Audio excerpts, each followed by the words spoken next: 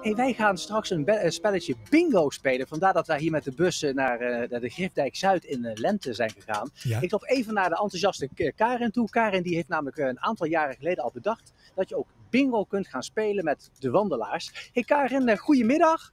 Wat sta je er heel vrolijk en fris en fruitig bij? Nou, dankjewel. Op deze toch een beetje bijzondere dag eigenlijk, hè? Ja, we moeten er wat van maken, want we missen de Vierdaagse enorm. Ik denk een hele hoop mensen. Eh, dus wij doen eigenlijk wat we altijd doen. En dat is dit. Ja, jullie zien het thuis al. Ehm, de Vierdaagse bingo. Eh, leg het eens even uit, want ik begrijp het niet helemaal. Nou, de Vierdaagse bingo is een paar jaar geleden ontstaan omdat we een hele hoop mensen kenden die meededen, meeliepen. En die mensen hebben we allemaal op het bord gezet. En zodra ze langskwamen, ehm, mochten ze hun naam afstrepen. Eh, en als ze dan een rijtje vol hadden, kreeg ze een prijs. Eigenlijk krijgt iedereen een prijs hoor, dat is verder niet belangrijk.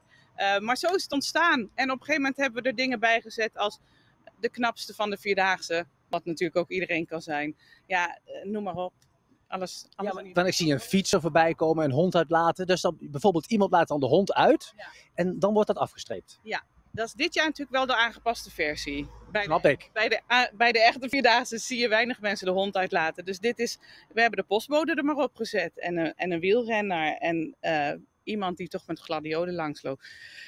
Ja, dat is een beetje wat we vandaag doen om toch het Vierdaagse gevoel ehm, naar boven te halen. De Vierdaagse bingo, eh, dames en heren. Dat kun je hier op het, eh, op het bord ook zien. Ehm, daar staan allerlei woorden op en heel veel woorden hebben jullie al afgetekend, hè? We, we hebben iemand die heel hard toeterde. Een grote eh, vrachtwagen die toeterde.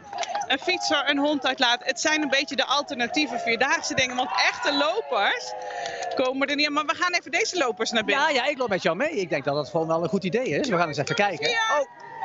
Want nu wordt het bingo dus echt gespeeld hè, op dit moment. Kijk, ze worden er al bijgehaald. Leuk, want eh, Je deze, hoeft maar te zwaaien, hè? deze meneer die eh, doet gelijk mee.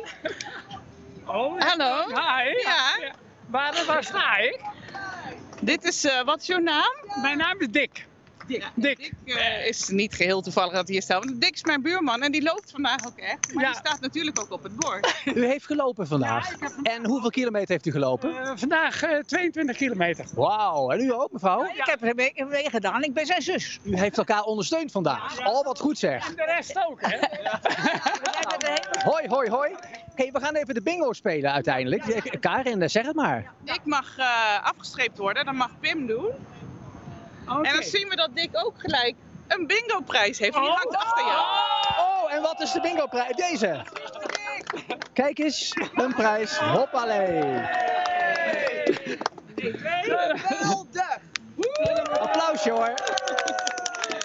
En dit is de Vierdaagse bingo. Het is gewoon voor iedereen hartstikke leuk. Ja. Geweldig. Hoe, hoe voelt het nu om winnaar te zijn van de bingo? Eh, eh, schitterend. Altijd een leuk initiatief van de buurvrouw. Geef eens even een kreet zo. Yeah! Yeah, yeah! Nou, succes de komende dagen. Fijn, dank u wel. Ja, zo, zo gaat dat dus. Hè. De, de vierdaagse bingo. Het is toch wel heel erg bijzonder, eh heren en dames in de studio. Om dat zo hier mee te maken door het feestgedruis. Ondanks dat er geen vierdaagse is, is het toch echt een feestje hier aan de Griffdijk eh, Zuid eh, in Lent. Geweldig.